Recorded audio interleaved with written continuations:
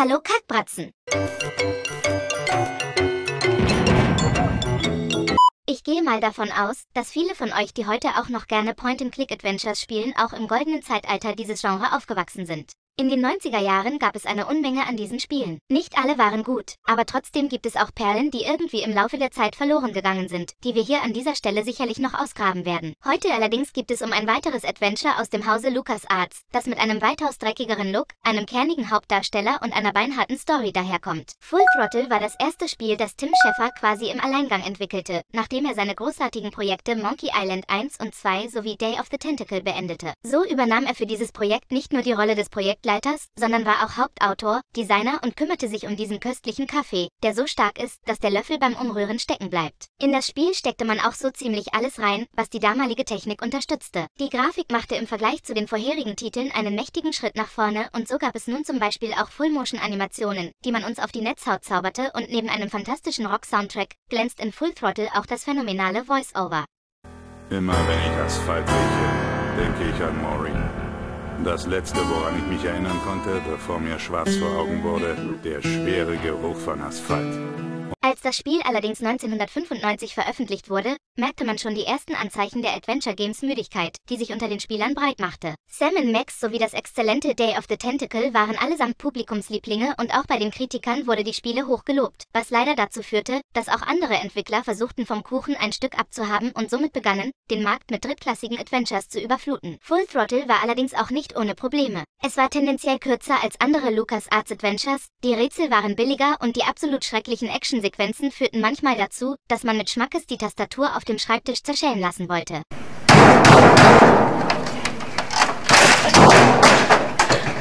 Es war kein schlechtes Spiel und es ließ sich auch mit über eine Million Einheiten, die über den Ladentisch gingen, ziemlich gut verkaufen, aber trotzdem zeichnete sich das Ende des Adventure-Genre ab. Immer wenn ich Asphalt rieche, denke ich an Maureen. Das letzte, woran ich mich erinnern konnte, bevor mir schwarz vor Augen wurde, der schwere Geruch von Asphalt.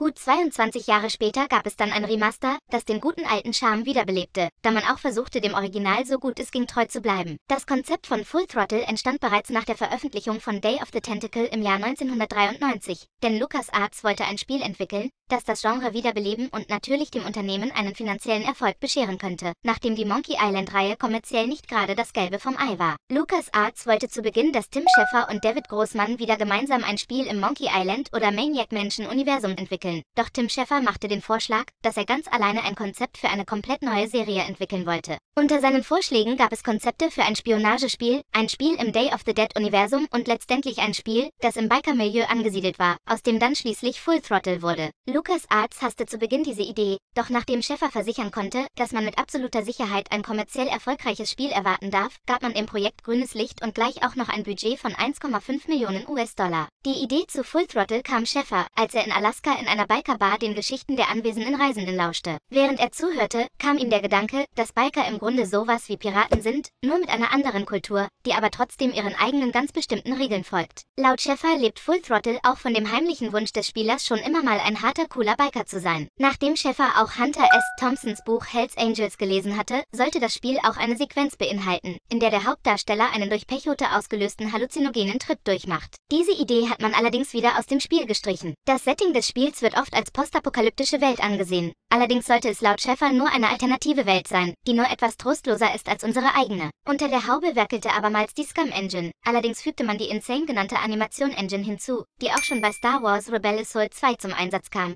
um die vielen Full-Motion-Videos in Full Throttle zum Laufen zu bringen. Wer Full Throttle bislang noch nicht gespielt hat, was ich mir allerdings nur schwer vorstellen kann, der darf sich auf ein düsteres und leicht humorvolles Wildwest-Abenteuer freuen, das in einer nahen Zukunft angesiedelt ist. Allerdings haben wir es im Spiel nicht mit Cowboys zu tun, sondern mit diversen Biker-Gangs, die dafür kämpfen, auch in Zukunft noch fest in ihren Satteln sitzen zu dürfen, während ein neuer Technologiegigant mit seinen Hover-Autos sie von der Straße fegen möchte. Unser Protagonist Ben ist der John Wayne der Zukunft. Er ist knallhart, hat aber auch immer den passenden Witz parat, wenn es der Moment erfordert. Nein, sie hat einen Schraubenschlüssel.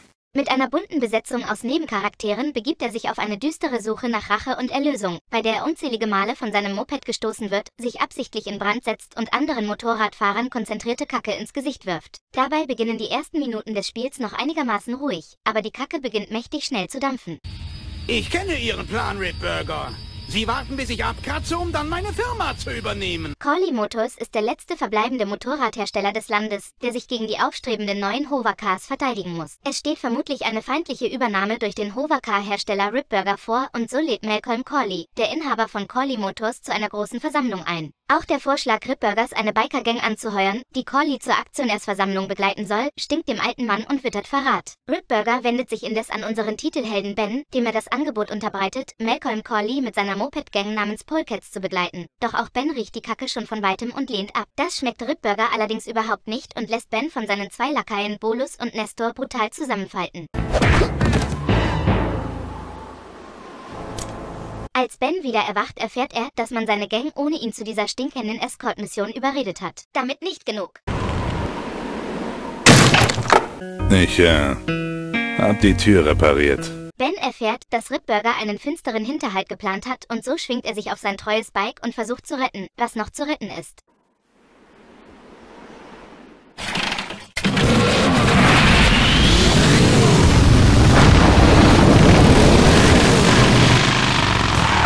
Allerdings endet seine Aufholjagd in einem heftigen Unfall, da man zuvor sein Motorrad sabotiert hatte.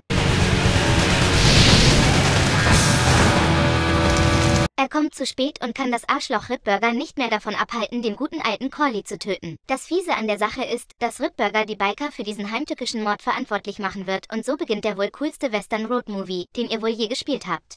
Du musst dich an ihm für mich rächen, Bam. Versprich mir, dass du ihm sehr wehtun wirst. Und spielen lässt sich Full Throttle Kinder einfach. Wenn man mit der linken Maustaste auf ein Objekt klicken, wird die Hauptoberfläche angezeigt, die sich als ein attraktiver Schädel präsentiert, von dem aus die klassischen Aktionen wie Sehen, Sprechen, Benutzen und so weiter ausgeführt werden. Der Schädel ist zwar eine deutliche Abkehr von der traditionellen Scum-Benutzeroberfläche, macht aber Spaß und verbraucht auch keinen aktiven Platz auf dem Bildschirm, was ein tieferes Eintauchen in das Abenteuer ermöglicht. Wie bei allen Abenteuerspielen dieser Ära kommuniziert man mit anderen Charakteren über einen Dialogbaum. Je nach Situation können Spieler neue Informationen entdecken oder die Handlung vorantreiben, indem sie aus einer Liste von Optionen auswählen. Bestimmte Szenen kommen erst voran, wenn man sich durch die richtige Kombination an Dialogen klickt. Hat man mal was in einem Gespräch vermasselt, beginnt man einfach wieder von vorne und versucht einen anderen Pfad.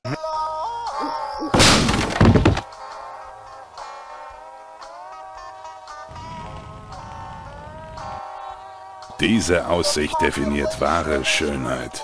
Es dauert vielleicht seine Zeit und man wird einige Dinge oft doppelt und dreifach hören, aber da muss man als Adventure-Fan einfach durch. Was den Stil und die Schwierigkeit der Rätsel angeht, werden die Aufgaben zu Beginn jedes Spielabschnitts zugewiesen. Leider werden diese Aufgaben so überbewertet, dass man sie sich genauso gut auf die Stirn tätowieren lassen könnte. Wie man die Aufgaben zu erledigen hat, muss man wie immer selbst herausfinden. Full Throttle hält einem bewusst nicht bei der Hand, denn schließlich spielen wir ja einen unerschrockenen Biker und so gabeln wir alle möglichen Gegenstände auf, die wir im Spiel so finden können. Die Rätsel sind weitgehend unkompliziert und konzentrieren sich auf das Einsetzen der aufgegabelten Items. Die Kombinationen sind aber weitaus nicht so absurd wie etwa in einem Monkey Island oder Day of the Tentacle. Einige Rätsel sind auch anspruchsvoller und erfordern ein gewisses Maß an Querdenken.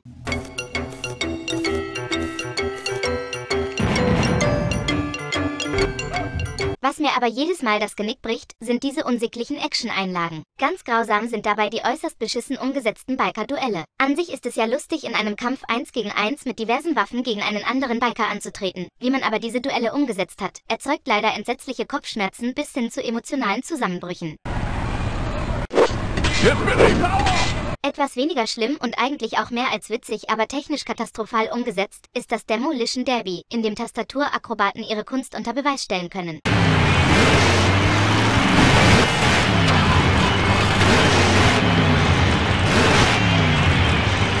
Weit weniger Sodbrennen bereitet vielleicht das Remaster auf Konsolen und wer gar nicht weiterkommt, hatte auch immer die Option, diese Kämpfe zu überspringen. Aber leider verpasst man einen eigentlich sehr unterhaltsamen Part des Spiels, der leider eher schlecht umgesetzt wurde. Habe ich eigentlich schon erzählt, wie unglaublich gut das visuelle Design ist? Die Vielfalt der Szenarien reicht von trostlosen Wüstenlandschaften bis hin zu trostlosen Industriezonen. Und auch wenn alles so trostlos erscheint, wurde diese unendliche Trostlosigkeit so unfassbar glorreich und lebendig eingefangen, dass es eine wahre Pracht ist. Einige der Grafiken sind bemerkenswert, insbesondere die Nahaufnahmen von Fahrzeugen, obwohl die Charaktere im Vordergrund oft blockartig erscheinen, was allerdings mehr der Zeit geschuldet ist. Trotzdem kann man auch noch die kleinsten Details in den Haufen unzähliger Pixel erkennen. Auch die Animationen sind flüssig, was man jetzt von dem Remaster nicht immer behaupten kann und viele der Zwischensequenzen sind hervorragend umgesetzt und gaben den Ton für das gesamte Spiel vor. Das ist der Kerl, der meinen Vater umgebracht hat. Los, erledigt ihn. Schnell. Hör zu, du machst einen großen Fehler. Es sind nicht nur die Charaktere, die mich fasziniert haben, sondern auch die Welt, in der das Spiel angesiedelt ist. Full Throttle nimmt großzügige Anleihen bei Mad Max und kreiert eine so dichte und teils düstere Zukunftsästhetik, die man zu dieser Zeit noch nicht gesehen hatte. Leider bietet die sechsstündige Laufzeit des Spiels nicht genug Raum für den Aufbau der Welt, aber selbst dieser kurze Blick ist voller faszinierender Szenarien und Kleinigkeiten, die voller Details sind. Da der Kunststil so perfekt und unerreicht für seine Zeit war, hatte ich wie immer Sorgen, dass das Remaster diesen Stil vielleicht zerstören könnte.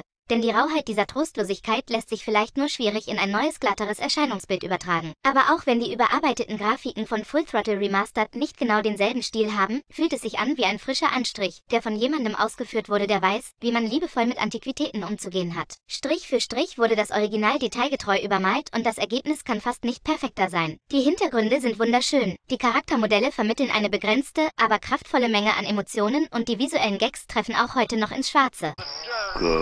Ugh.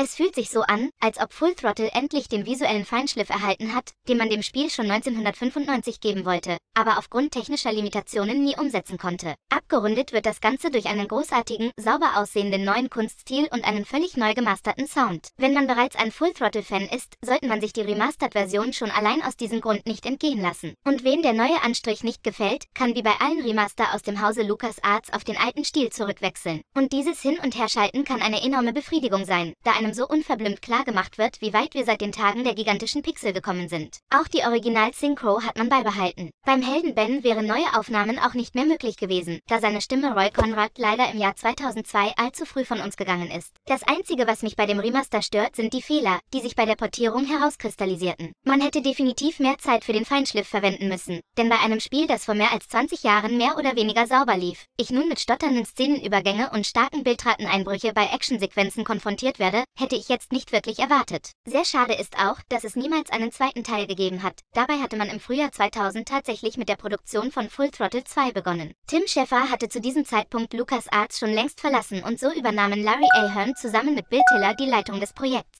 Die Geschichte hätte sich auf Bens Bemühungen konzentriert, den Plan eines Großkonzerns und des örtlichen Gouverneurs zu vereiteln, alle asphaltierten Autobahnen durch Schwebebahnen zu ersetzen und den Motorrad- und Lastwagenfahrern ihr letztes bisschen Asphalt und Lebensraum zu entziehen. In der Anfangsphase erhielt das Projekt positive Rückmeldungen von anderen LucasArts-Mitarbeitern. Doch laut Tiller scheiterte es schließlich aufgrund von Meinungsverschiedenheiten über den Spielstil zwischen dem Produktionsteam und einer besonders einflussreichen Person innerhalb des Managements. Das Projekt wurde somit eingestellt.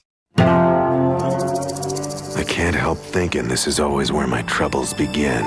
It looks so simple. Help out a pretty dame, kick some tail, and leave town. But it never ends up that way.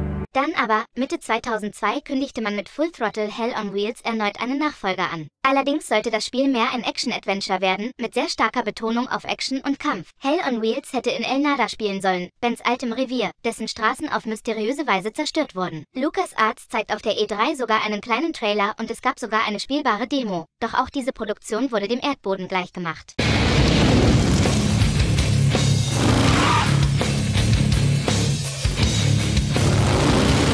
Man hätte auch nie die Qualität des ersten Teils erreichen können, so Lukas Arts. Und da man die Fans nicht enttäuschen wollte, zog man dem Projekt den Stecker. Wenn ihr also noch nie das Original gespielt habt, dann holt euch wenigstens das Remaster von Full Throttle. Es hat durchaus seine Macken und es ist vielleicht auch nicht so charmant wie andere Adventures aus dem Hause Lukas Arts. Doch die Welt steckt so vieler wundervoller Details und auch die Story ist spannend genug, sodass man sich das Spiel einfach nicht entgehen lassen sollte. Full Throttle ist eine Kuriosität und ein Andenken an eine Zeit, als Spiele zum ersten Mal wirklich die 2D-3D-Grenze überschritten und daraus resultierend mussten auch die Entwickler neue Wege erforschen, wie man mit diesen Spielen interagieren muss. Das Endergebnis ist daher eindeutig. Das Original kann heute beim Spielen Schmerzen bereiten, aber man darf es sich trotzdem nicht entgehen lassen. Es bietet immer noch jede Menge Humor, exzellente Musik und eine Kulisse, die es verdient, noch einmal besucht zu werden. Es sind gut investierte Stunden, und wenn man sich das Remaster holt, wird man das gleiche Spiel vorfinden, das man vor all den Jahren schon geliebt hat. Man muss sich nur darüber im Klaren sein, dass dieses Remaster nicht so reibungslos und nahtlos flutscht, wie das Original oder das Remaster zu Monkey Island, das man wohl mehr Liebe spendierte.